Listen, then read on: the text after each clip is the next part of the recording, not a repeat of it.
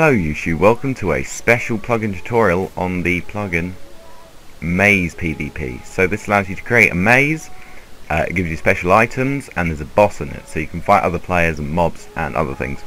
So you're going to want to type forward slash create maze, call it something, so I'm going to call it YouTube, and then the size of it. So 10 is medium, um, more than that takes uh, like 5 seconds to create, so I'm going to go for a fairly small one so I can find the boss this time. So I'm going to have two entrances and it's going to spawn at my current position. So it'll say creating maze, wait a few seconds and boom, here it is. So when we enter the maze, uh, we will get some special items uh, which do some really amazing things and I'll show you them.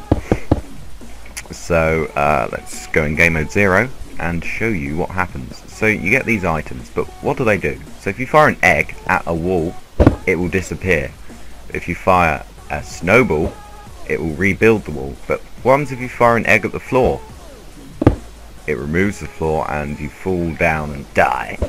So this is really cool. Ender Pearl teleports you, obviously. And now we will go look for some loot and the boss. So, just spawned there. Ooh, mysterious.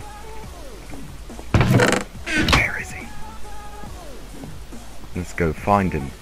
Oh, chest. Now we got some armor. And here's one of the mobs that are spawned. So obviously you would have more players in here. All competing to kill the boss.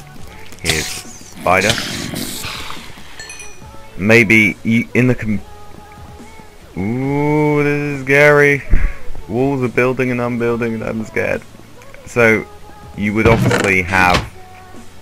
Uh, oh, there's the boss. This will probably kill me instantly, so hold on, heal. Uh, I-322. No! 322. Uh, and he, and he teleports, which is pretty scary, so...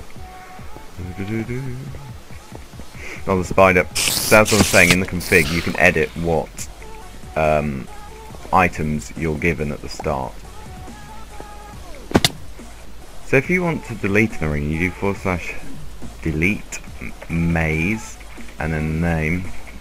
You can spell delete correctly. YouTube. And that will delete it.